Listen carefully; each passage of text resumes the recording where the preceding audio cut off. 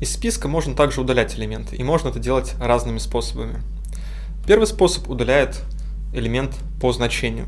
Пускай у вас есть список students, и вы хотите удалить из списка студентов Сашу.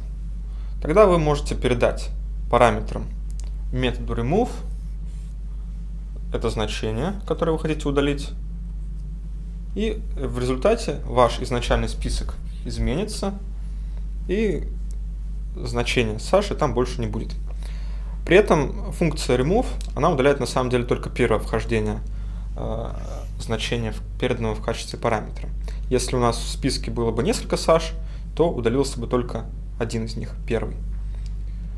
Э, можно также удалять элементы списка с помощью указания индекса элемента списка. Для этого используется, используется конструкция del, где дальше указывается список и в квадратных скобочках индекс элемента. А, тогда конкретный этот элемент, который указан, и будет удален.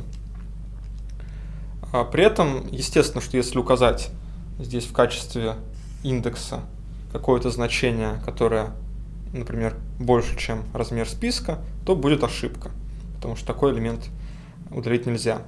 Аналогично, если мы попробуем с помощью метода remove удалить элемент, который в списке отсутствует, то тоже возникнет ошибка. Программа не сможет продолжить, продолжить свое выполнение после этого. А, что же делать, если мы хотим сначала проверить, есть ли элементы, потом удалить его? Ну, для этого посмотрим, как можно вообще проверять наличие элементов в списке. А, для этого есть конструкция а, значения элемента in и далее список. Эта конструкция возвращает логическое значение, истина или ложь, в зависимости от того, присутствует данный элемент в списке или нет. Таким образом, мы можем с помощью условной конструкции if Иван in students проверить, что Иван действительно находится в нашем списке. Также можно использовать конструкцию not in, которая позволяет проверить, что элемент не находится в списке. В некотором смысле эта конструкция является таким синтаксическим сахаром, да, потому что можно было бы написать if not n